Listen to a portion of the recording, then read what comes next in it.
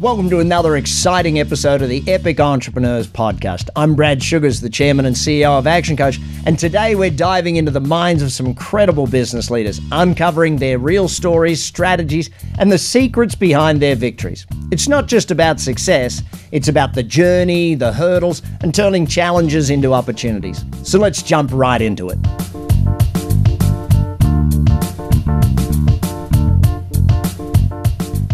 Hello, and welcome to the Epic Entrepreneurs Podcast.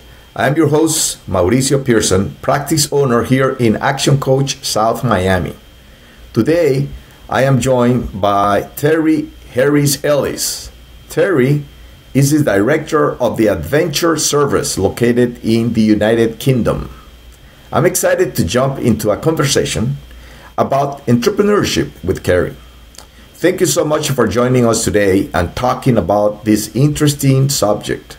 Would you like to start us with a brief background on who you are and what you do and what is Adventure Service? Uh, so my name's Terry. Um, so um, I suppose a brief background. I've worked with people for learning disabilities for over 20 years, 25 years, uh, but also been very keen outdoorsman. So I like spending time outdoors. Um, the Adventure Service is a service for adults with learning disabilities based around adventure. So we take people climbing, uh, caving, abseiling, canoeing, kayaking um, for, for during the day, and then we take people away for weekends as well for short breaks.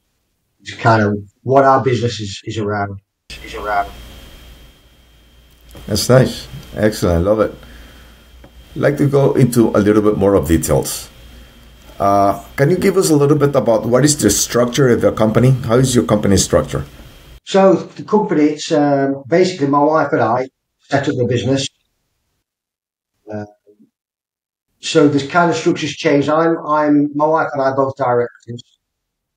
Um, so we have a senior leadership team, a management team who run the day-to-day operations with um, instructors who go out and do a lot, deliver activities with our um, our service users. So that management team is uh, the one that coordinate the activities in, in the in the out. Yeah, when people. um, yeah. we have we have at the moment three different venues. Uh, we each, with a man- manager, and then we have a short break service with a manager that takes people away for weekends. Okay, interesting. Very interesting. Let me let me ask you something. Let ask you which are the top three things you did that made you successful in the, in your business, and how other people can follow in your footstep. So I've been thinking about this, and I think one of the things kind of goes back to before the adventure service, before I set the company up. Um, I had the idea for the adventure service for quite a few years, but then in the late 2000s, 2008, 2009, when the crash happened, um, financial crash, uh, I was working, for a local authority, the kind of of council within within the UK. Um, and they were looking for people to take voluntary redundancy. And I was called to a meeting in in Nottingham, which is city close to us, uh, to discuss um, that we were at threat of. But what what stood out for me on the way back home, I was listening to the radio, and there- there was an interview with um, business owners, people who had set up their own business. And one of the questions was, "What would happen if your business failed?" And the answer that was given over the radio that was that it wasn't an option. Failure wasn't an option. It was going to work, and they were going to make it work. And that kind of resonated for me, and that's kind of where I decided actually I can make this work. And whatever happens, I will make it work. And that's kind of been a, been a like an unwritten law, a kind of mantra for myself for the last 13, 14 years while setting the adventure service up. Um, that belief that this will work. Whatever anybody else said, I will make this work. So that was one of them. Um, I suppose um, another thing I did was choose the right people. Um, So when I was thinking about setting up, a colleague said he wanted to come to work set it up with me. Um, but he wanted to carry on working and do it part time. And that didn't feel right to me. Like I was taking all the risks and he was just going to, um, it was just going to kind of put his toe in the water. And if he wanted to back out, he could. Um, but then I think yeah, Helen decided to join me and come on side. Wife, we complemented each other very well. Um, she's very practical and very down to earth, makes things happen. Makes things happen where I'm more of a, um, a visionary, more of an ideas person, not very good with the detail. Um, so that works well. I think it's choosing the right people you work with. They've got to be passionate, passionate about what you're doing as well. And I think it's, it's about following your heart, isn't it, as well? Believing loving something, being passionate about what you're doing. If you're not passionate about it, um, I don't think there's um, any point in doing it. I think if you because the work you have to put in, you've got to be passionate. You've got to love what you do. Um, so for me, my passion was the outdoors and working with people with learning disabilities. And having that passion is really important. I think without that, it's not going to work. So been my top three things, I think. Excellent, excellent. I love it. And, uh, the important thing is that, that you were able to really find out what, what what were those three three important things, including to have the right team and doing what you really love to do. What makes you successful? Without a doubt, I think if you have the wrong people around you, it's not going to work. Back at the beginnings, uh, what made you decide to to get into this type of business? What and what, why this particular business? I think um, I think I'd always liked the idea of working for myself. Um, but not, not, not kind of really knowing what to do. But then, because I, I, I work with people with learning disabilities and really enjoyed it, and my love for the outdoors, it kind of, it kind of came, came together really. I don't think we ever started the business to make a business. I know it sounds, may sound really strange. We started the business as a, as a kind of taking control a little bit more of our life, um, having having an imagining a little bit more time, which has arrived, which has arrived now. We do have more time now. We're dying more control. Um, it's always been about those working with people with learning disabilities for me, um, helping people. Our motto is to achieve potential to adventure. And that's what we do. We work with people to help them become better versions of themselves. That's both the people we work with as in our uh, service users, but also with the staff team. We want to help people develop and grow, and that's kind of always been a passion. Um, so it's having that interest, really, I think, in in um, the outdoors. People with learning disabilities, but to be in control of our own destiny and our own future, rather than somebody else being in control of what we're going to do and how we're going to live our lives. That's good. Yeah be an adventurer and having your business has a lot of courage and a lot of uh, things that you have to put into from yourself. A lot of uh, intelligence. I think uh, I think our um, our parents. I think our parents must have thought we were we were crazy because we both got good jobs, Helen and I, but neither of us have been redundant. Uh, and we had two very small children, and um, my wife was, was breastfeeding when we took out the lease on our first building, and we got a mortgage, and so although it uh, it's probably felt it probably was a risk at the time, it didn't feel like it. It felt exciting, and we were making a you know something for the future together. What was the biggest challenge, and how did you overcome it in the whole process? Um, loads of challenges. Uh, so many challenges. I think it's. Um,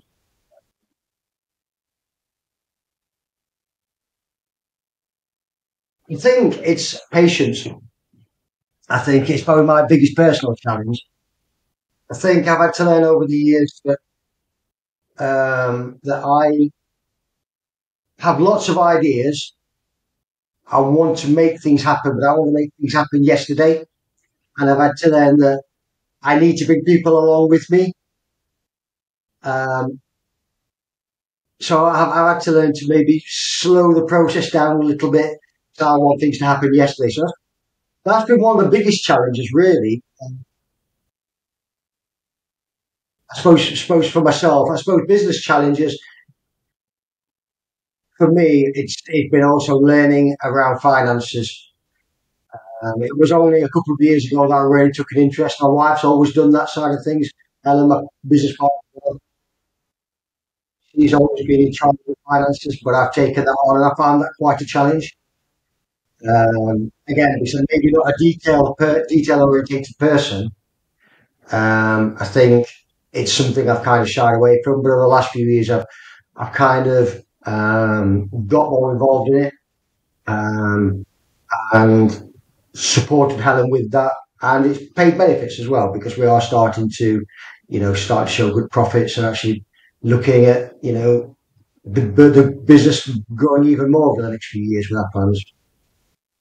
So finance has been a big one and patience has been a big one.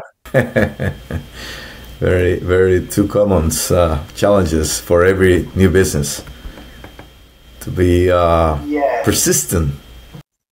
Yeah, yeah. I think as I think as being an entrepreneur, yeah, you you most I would guess most entrepreneurs are quite visionary and um, come up with ideas, but sometimes, definitely myself, I needed a I needed someone to help me then because I'm maybe not a detail oriented person. So that's where my wife and I, and my business partner, balance each other out really well. Um, I can have a big picture and then Helen can do it. Good. And obviously, you, you had to grow yourself in order to be able to uh, to make this business work. So, how did you personally have to grow, and what did you most have to learn to create this business or this success? What, areas you felt that you had to grow? Oh, so many things.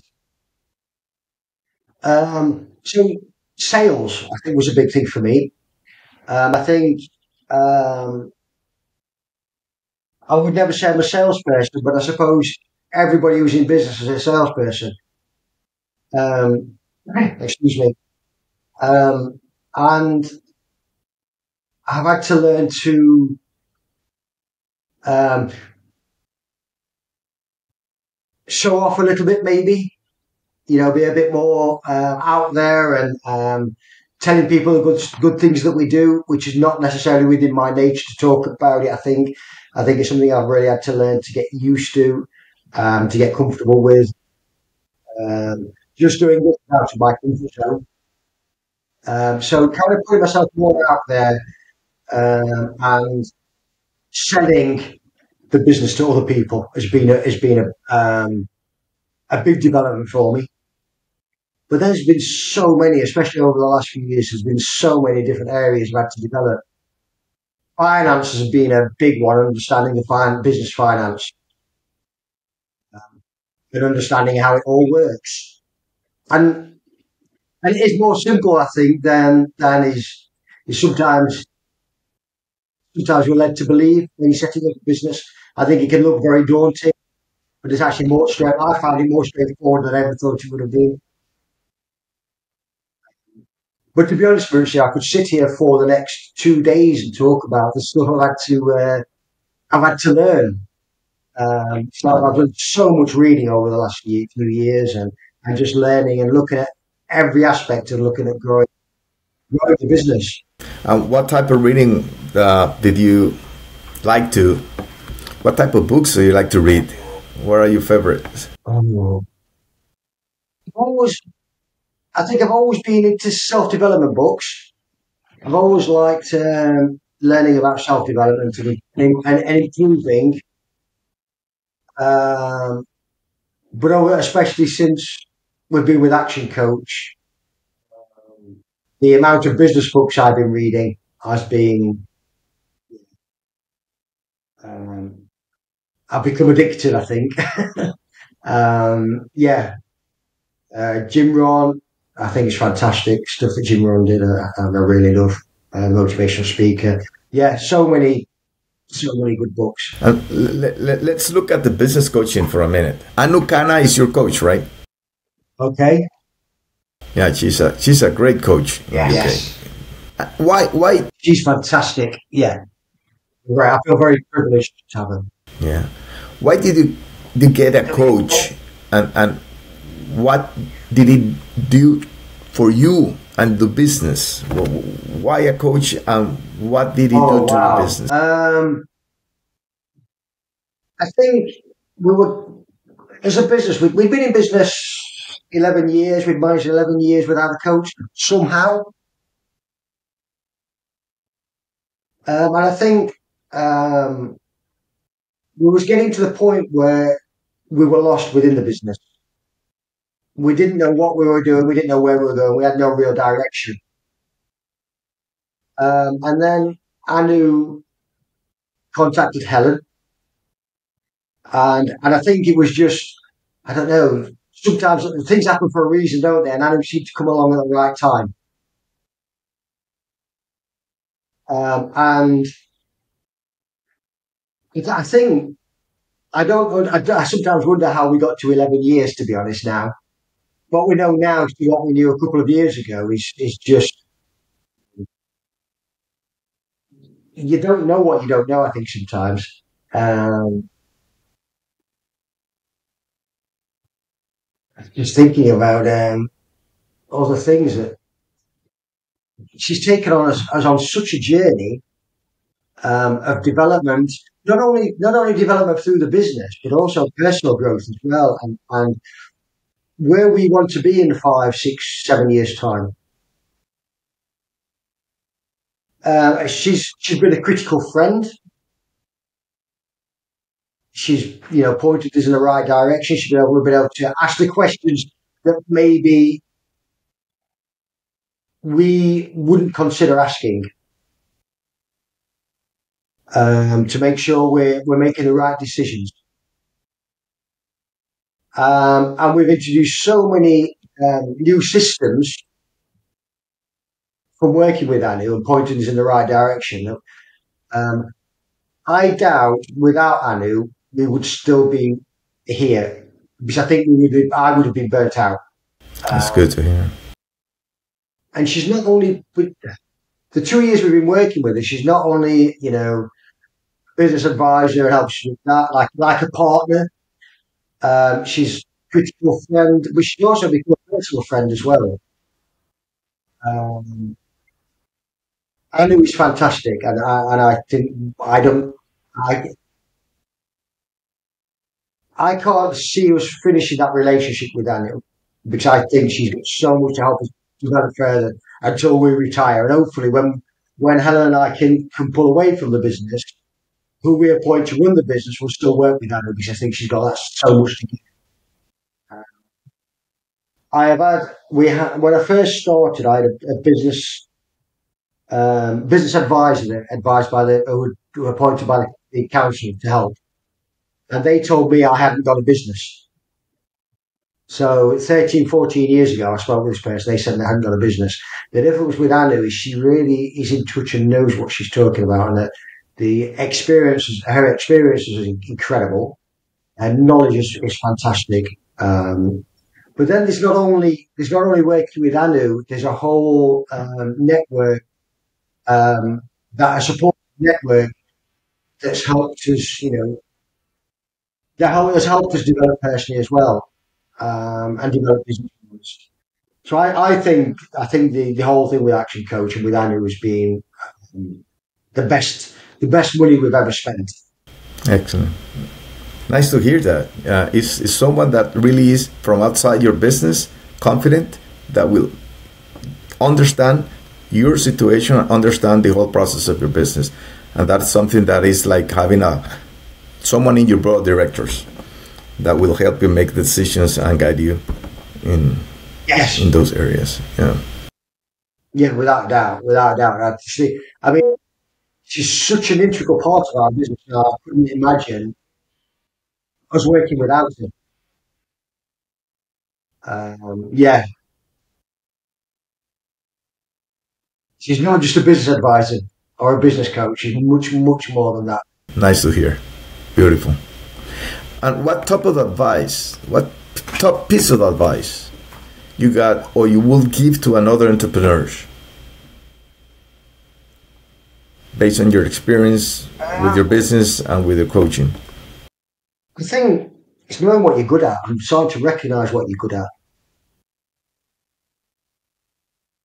I think I've had to be honest recently and, and accept that um, over the last 18 months, year, 18 months, that I can't do it all.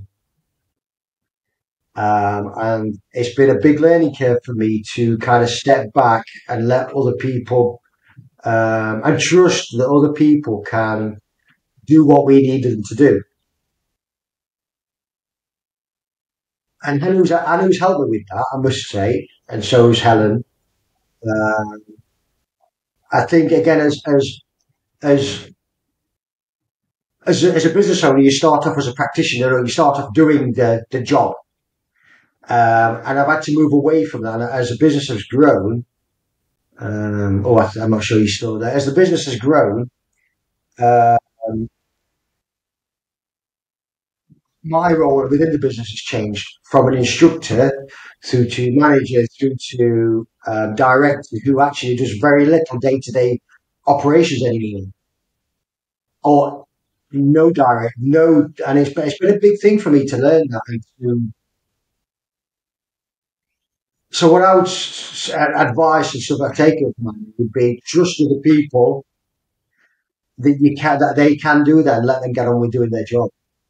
Okay, well, that's true. That's true. Well, that's a very interesting area you're talking about. Well, those. This. Thank you very much uh, for the time today, Terry. Big learning curve for me. It was very um, great meeting very you. Very hard to step back. Yeah. I'm getting there. I'm getting better. That's good. Oh, he's still there. It was very nice uh, having this conversation. It was very nice learning about your business. You're a very interesting business and a very nice story Thank about you. the whole process of how you came up with uh, having it and how you have sustained it. Because uh, we have a lot of fun. The, the, the, thing is about the adventure service. Um, the main thing is we have a lot of fun. Mm-hmm. Yeah, we like we love it. Excellent. Well, thank you for uh, sharing again your entrepreneurial journey, and to everyone watching, I look forward to seeing you, you and thank our you. next episode. Thank you. Have everyone a nice day. And that's a wrap for today's epic conversation here on Epic Entrepreneurs. Huge thanks to our amazing guest for their pouring their heart into sharing their journey. If you enjoyed this episode, hit that subscribe button, leave a review, share it, or hit that bell. But until next time, let's make sure you keep dreaming, take massive action, and stay epic.